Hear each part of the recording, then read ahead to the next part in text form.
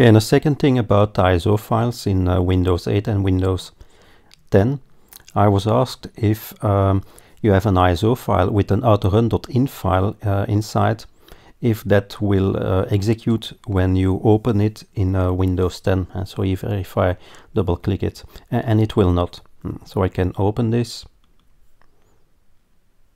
And here you can see it as an autorun.inf with the corresponding setup, but uh, nothing happens.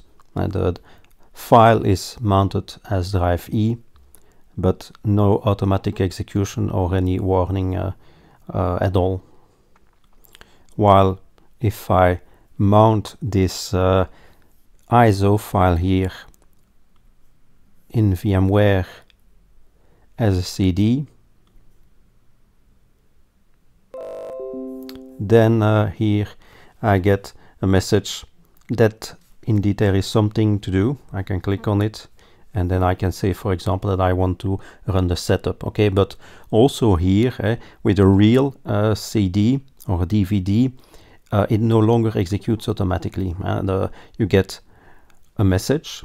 Where you can take some action but if you do nothing nothing will uh, execute automatically. And especially here with ISO files here nothing at all happens